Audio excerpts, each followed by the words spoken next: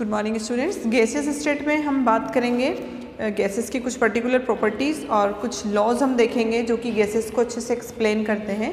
देखो, जब हमने डिफ्रेंशिएशन देखा सॉलिड लिक्विड और गैस के बीच में तो हमने देखा कि सॉलिड और लिक्विड में जो इंटरमोलिकुलर फोर्स ऑफ़ अट्रैक्शन होता है, उसका value as compared to gases higher होता है। जबकि गैसेज में इंटरमोलिकुलर फोर्स ऑफ़ अट्रैक्शन आप नेग्लिजिबल मान सकते हो, होता ही नहीं है ऑलमोस्ट बहुत ही कम होता है, क्योंकि उनके जो मॉलिक्यूल्स हैं, उनके बीच में बहुत ज़्यादा गैप होता है। मॉलिक्यूल्स बहुत दूर दूर होते हैं, या पार्टिकल्स अगर आप कहो तो गैसेज में। तो गैसेस की जो प्रॉपर्टी है, उन्हें हाईली कंप्रेसिबल बनाती है मीन्स के you can compress gases as compared to liquid and solid उसके बाद अगर आप देखो तो वॉल्यूम और जो शेप है गैस का, वो फिक्स नहीं होता है। गैस ऑक्यूपाई कर लेती है, आप आप उसे जिस भी कंटेनर में डालोगे, उसी का शेप उसका वॉल्यूम ऑक्यूपाई करेगा। ठीक है, उसके अलावा हाँ जो डेंसिटी है, वो बहुत बहुत कम होती है too much lower than compared to solid और लिक्विड ये सारी प्रॉपर्टीज़ हमने देखी थी, ठीक है गैसेस को एक्सप्लेन करने के लिए। अब प्रॉपर्टीज़ तो हो गई, ठीक है, जब आप बात करते हो साइंस की तो वहाँ कुछ लॉज होते हैं, ठीक है, जो प्रूफ करते हैं कि एक्चुअल में ये चीज़ आपने जो आपने जो स्टेटमेंट दिया है, वो सही है पर्टिकुलर ठीक है तो उसके लिए कुछ लॉज आए। ठीक है? उन लॉज ने पर्टिकुलर फोर और फाइव लॉ हैं, जिन लॉ ने हमें प्रूव कर दिया कि एक्चुअल में गैस में ये प्रॉपर्टी होती है।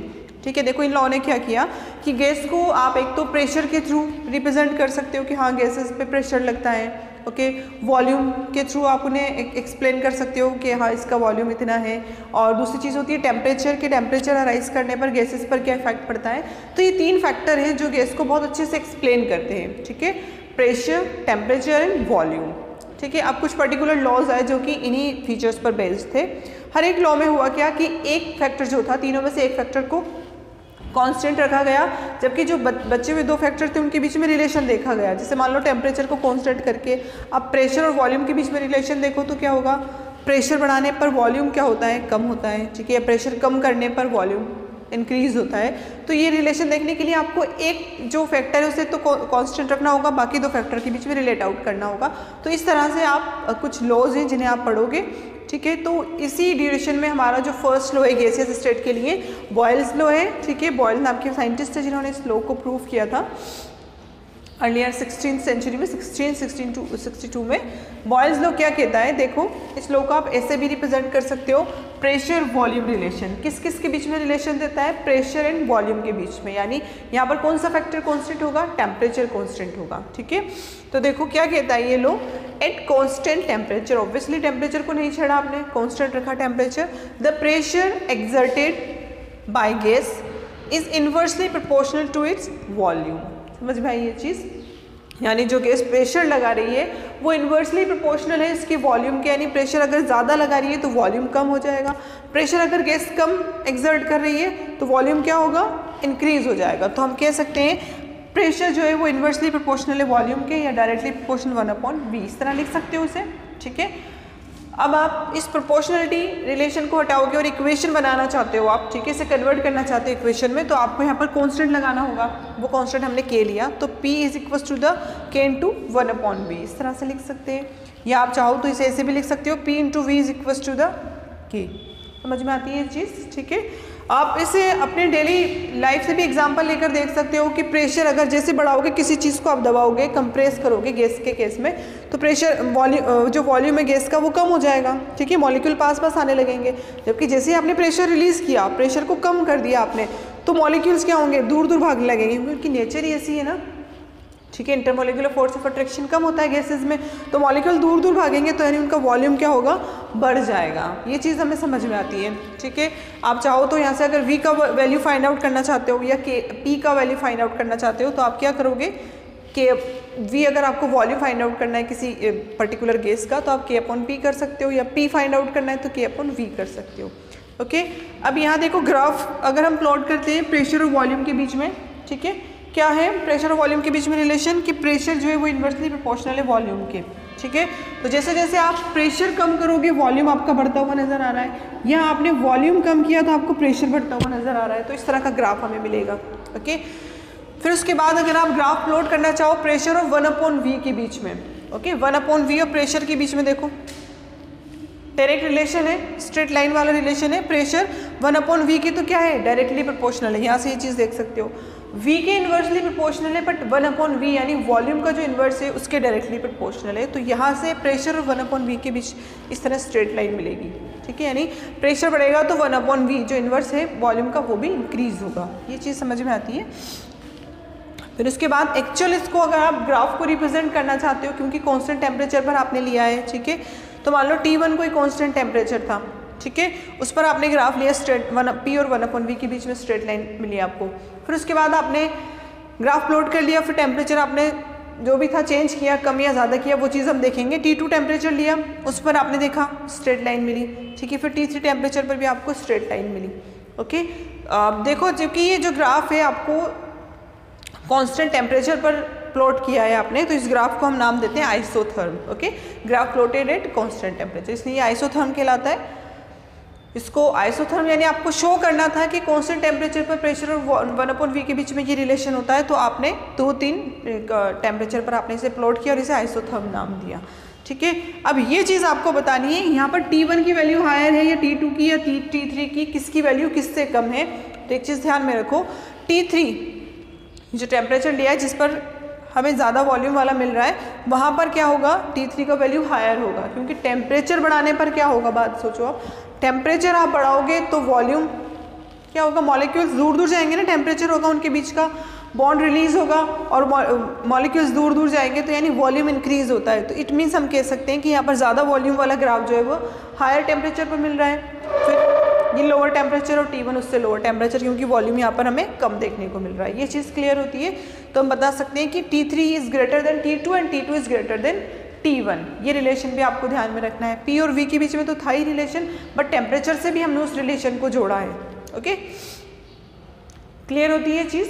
तो इस तरह से हम देखते हैं कि बॉयल्स लॉ है। बॉयल्स ने हमें एक्सप्लेन किया कि आप रिलेशन देख सकते हो। आप गैसेस पर ये लॉ एप्लीकेबल होते हैं, हर एक गैसेस पर।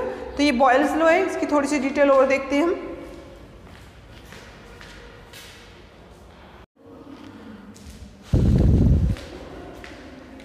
तो स्टूडेंट अगर एक से ज़्यादा प्रेशर गैस का दिया हुआ है या वॉल्यूम आपका इंक्रीज़ होकर बता रहा है तो तब आप कैसे रिलेशन निकालोगे उस गैस के लिए बॉयल्स लो के अकॉर्डिंग तो देखो, हम मान सकते हैं at a fix amount of gas okay gas का अमाउंट जो है वो फिक्स है, उसमें आपने चेंज नहीं किया है। एट प्रेशर P1 और प्रेशर क्या है उस गैस का? P1 है तो वॉल्यूम आप मान सकते हो कि V1 होगा, ठीक है? रिलेशन जो भी है वो बाद में देखेंगे कि गैस का P1 प्रेशर पर वॉल्यूम V1 है ओके फिर आपने क्या किया? कि वॉल्यूम को कम किया या ज़्यादा किया तो वो यहाँ पर क्या हुआ कि एट ऑन एक्सपेंशन एक्सपेंड हो रहा है, ठीक है? यानी कि क्या होगा? वॉल्यूम बढ़ेगा। On expansion volume becomes V two उसी गैस का वॉल्यूम जब आपने प्रेशर को कम किया तो वॉल्यूम क्या हो गया? V2 हो गया। अब प्रेशर आपने छेड़ा ना, पहले P1 था, आपने कम किया, अब तो प्रेशर क्या हो गया? P2 हो गया। ओके अब क्या रिलेशन निकालोगे? कैसे आप बॉयल्स लो को प्रूफ करोगे? जब आपको दो वॉल्यूम और दो प्रेशर दिए हुए तो देखो बॉयल लो क्या कहता है? P one V one equals P V equals to the K यही होता था, ठीक है? तो यहाँ पर P one V one is equals to the P two V two equals to the K ये हमारा फोर्थ रिलेशन आ गया। उसके बाद पी वन पी टू और equal to the V two upon V one ये रिलेशन आप यहाँ से निकाल सकते हो P one P two is equal to the V two upon V one इस तरह से आप रिलेशन निकालते हो। तो ये जो आपके लिए रिलेशन निकल कर आया P one P two V one V two के बीच में, ये रिलेशन जनरली हमारे जो न्यूमेरिकल्स दिए जाते हैं, उनमें काफ़ी हेल्पफुल होता है। ये चीज़ आपको ध्यान में रखना है। ये चार वैल्यू दी हुई हैं, दो प्रेशर की और दो वॉल्यूम की। तो इन चार में से तीन तो आपको गिवन होते हैं, कोई एक पॉइंट आपको गिवन नहीं होता है। मान लो वी वन गिवन नहीं है, मान लो वी टू गिवन नहीं है, मे बी पी टू की वैल्यू नहीं दी तो वो आपको फाइंड आउट करनी होती है तो आप इस रिलेशन के थ्रू इस इक्वेशन के थ्रू फाइंड आउट कर सकते हो। तो हमें ये चीज़ ध्यान में रखना है कि अगर एक गैस के लिए दो प्रेशर और दो वॉल्यूम दिए हुए हैं तो P one P two equals to the V two upon V one जी, हमने बॉयल्स लॉ से प्रूव किया है। उसके बाद देखो, अब आप डेंसिटी से रिलेशन निकालो, कोई क्वेश्चन होते हैं, यहाँ पर हमें डेंसिटी भी दे दी जाती है बॉयल्स लॉ से प्रूफ करवाता है तो देखो डेंसिटी एक्चुअल में क्या होती है? Density equals to the mass upon volume यही चीज़ है ना? ठीक है? ये रिलेशन हमें पता है। अब यहाँ से हमें वॉल्यूम का वैल्यू पता चलता है। डेंसिटी मास अपॉन वॉल्यूम और वॉल्यूम हमने कहाँ से लिया है? बॉयल्स लॉ में वॉल्यूम हमने लिया है, ठीक है? प्रेशर और वॉल्यूम के बीच में रिलेशन है। तो वॉल्यूम का रिलेशन हम यहाँ पर पुट करेंगे, क्योंकि डेंसिटी भी हमें नहीं दी बॉयल्स लो ने मास भी हमें नहीं दिया, हमें वॉल्यूम दिया है बॉयल्स लो ने, ठीक है? वॉल्यूम फाइंड आउट करना सिखाया है। तो उस वॉल्यूम का वैल्यू हम यहाँ पर रखेंगे। तो सबसे पहले देखो, हम वॉल्यूम कैसे फाइंड आउट करते हैं?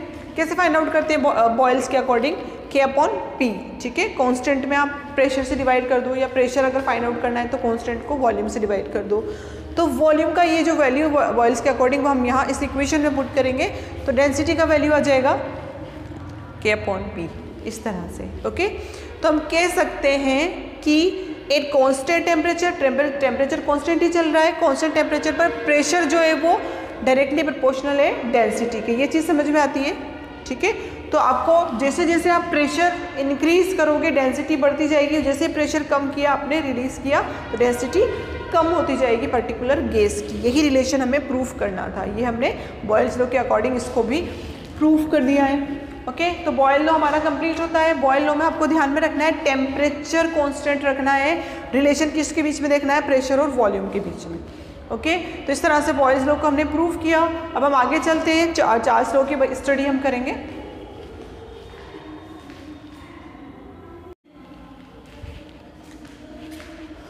बॉयल्स लो के बाद हम बात कर लेते हैं चार्ल्स लो की। ठीक है? बॉयल ने टेम्परेचर को फिक्स किया था प्रेशर और वॉल्यूम के बीच में रिलेशन दिया था। चार्ल्स ने क्या किया है? टेम्परेचर और वॉल्यूम के बीच में रिलेशन दिया है यानी इसने प्रेशर को कांस्टेंट रखा है। अब आप खुद आइडिया लगाओ कि प्रेशर आपने नहीं छेड़ा प्रेशर कांस्टेंट रखा तो टेम्परेचर और वॉल्यूम के बीच में क्या रिलेशन होगा? जैसे जैसे आप टेम्परेचर दोगे, ठीक है? तो गैस के मॉलिक्यूल्स क्या होंगे? एक्सपेंड होंगे दूर दूर फैल जाएँगे इट मीन्स के वॉल्यूम क्या होगा?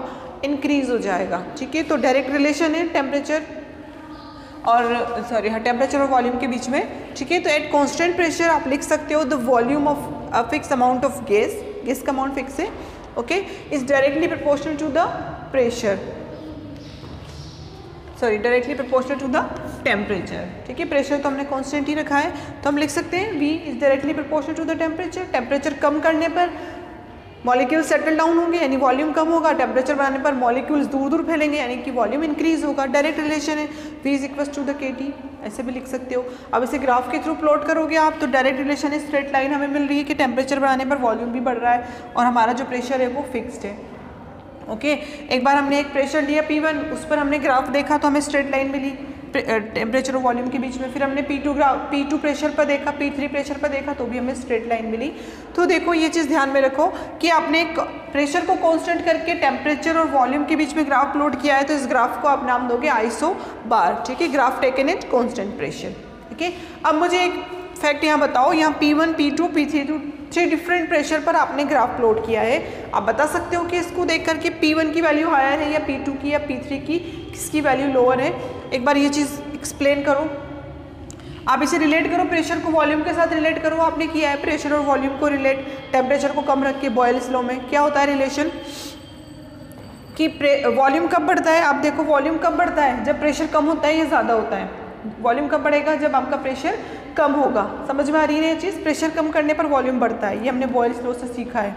ठीक है? तो वो रिलेशन हमारे यहाँ काम आएगा इस चीज़ को पता लगाने में कि हमारा P1 हायर था P2 हायर था या P3 की वैल्यू हायर थी। तो देखो वॉल्यूम इंक्रीज हो रहा है वाई एक्सेस पर ओके और ये प्रेशर यहाँ पर आपको ज़्यादा नज़र आएगा वॉल्यूम के साथ। वॉल्यूम बड़ा, यहाँ पर ज़्यादा वॉल्यूम है। इट मीन्स कि ये प्रेशर जो P3 है, वो क्या होगा?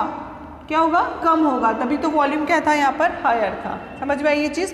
फिर वॉल्यूम कम हुआ। वाई एक्सिस पर यहाँ वॉल्यूम इस पॉइंट पर कम हो रहा है। पी टू वाले पॉइंट पर तो हम कह सकते हैं कि यहाँ प्रेशर हायर हो गया था। ये चीज़ समझ में आई? फिर पी वन पर गए तो हमने देखा वॉल्यूम और कम हो गया। वॉल्यूम का वैल्यू वाई एक्सिस पर अगर देखा जाए तो और कम हो गया यहाँ पर। यही चीज़ से हो रही है ना यहाँ पर वॉल्यूम कम हुआ। इट मीन्स कि प्रेशर क्या हो गया? बढ़ गया। ठीक है वॉल्यूम कम होना यानी प्रेशर का बढ़ना अकॉर्डिंग टू बॉयल्स लो तो हम कह सकते हैं कि यहाँ पर किसकी वैल्यू हायर है? P1 is greater than P2 and P two is greater than P3 यानी सबसे ज़्यादा वैल्यू P1 की है. यानी जब हमने P1 प्रेशर पर जब हमने ये जो टेम्परेचर और वॉल्यूम के बीच में ग्राफ लिया था, उसकी वैल्यू हायर थी. फिर हमने P2 में कम किया P3 में और कम किया.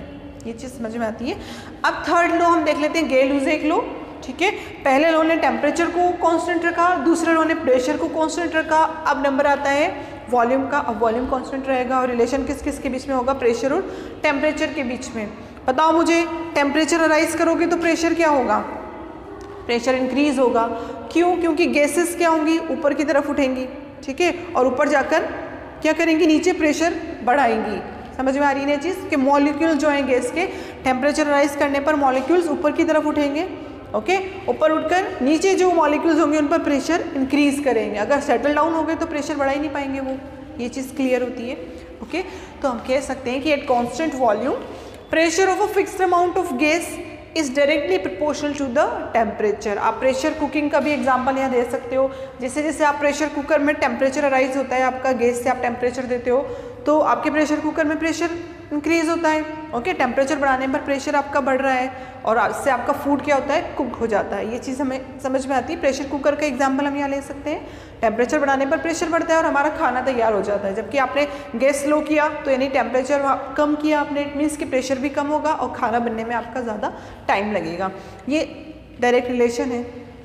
प्रेशर और टेम्परेचर के बीच में। अगर आप फिक्स वॉल्यूम पर ये ग्राफ लेते हो, इस तरह से स्ट्रेट लाइन तो मिलेगी। और फिक्स वॉल्यूम पर ले रहे हो ग्राफ आप, ठीक है कॉन्स्टेंट पर तो आइसोकोर के थे इस ग्राफ को ओके तो इस तरह से हम देख सकते हैं। ये V1 पर लिया V2 पर लिया, और V3 पर लिया। अब आप खुद का दिमाग लगाओ और बताओ कि V1 की वैल्यू हायर होगी V2 की हायर होगी या V3 की हायर होगी। बताइए प्रेशर और वॉल्यूम के बीच में आप रिलेशन देख लो। प्रेशर और वॉल्यूम के बीच में रिलेशन कौन देता था? वो भी हमारा बॉयल लो ने दिया था प्रेशर और वॉल्यूम के बीच में रिलेशन ठीक है? वॉल्यूम इंक्रीज हो रहा है इट मीन्स के प्रेशर कम है। यही कहता है ना बॉयल स्लो ठीक है? और वॉल्यूम कम हो रहा है सॉरी हाँ प्रेशर यहाँ पर ज़्यादा है। इट मीन्स प्रेशर ज़्यादा इट मीन्स कि वॉल्यूम क्या था? कम हो जाता है according to the Boyle's law यही कहता है ना बॉयल ठीक है? तो ये चीज़ हम यहाँ देख सकते हैं। टेम्परेचर को हम नहीं छेड़ रहे इस चीज़ को पता लगाने के लिए कि volume V one V two V three में क्या रिलेशन है? कौन हायर है, कौन लोअर है? लोअर है। ठीक है? तो प्रेशर हायर इट मीन्स क्या मतलब हुआ इसका? प्रेशर हायर यानी कि वॉल्यूम क्या था? कम था। फिर आप यहाँ आए V1 वाले प्रेशर पर। यहाँ देखो प्रेशर का पॉइंट कम हो गया। वाई एक्सिस पर प्रेशर कम है। प्रेशर कम इट मीन्स कि वॉल्यूम क्या हुआ? बढ़ गया हायर हो गया। ओके तो हम कह सकते हैं कि यहाँ पर V1 one is greater than V2 and V2 is greater than V3 ये चीज़ हमें ध्यान में रखनी है। बॉयल प्रोसेस से रिलेट करना है। आई होप ये लॉज आपके क्लियर हुए होंगे। ठीक है? बॉयल लो चार्ज लो और गे लूज एक लो। ठीक है? इसके बाद हम इन, एक लो और देख लेते हैं। Avogadro law. इसको देख लो आप एक बार।